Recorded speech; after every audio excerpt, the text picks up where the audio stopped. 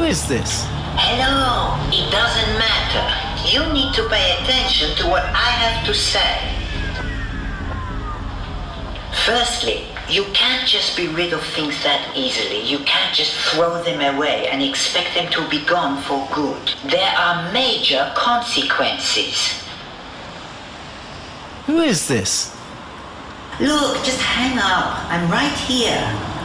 Who are you? Uh, look, I'll get to all that in a bit.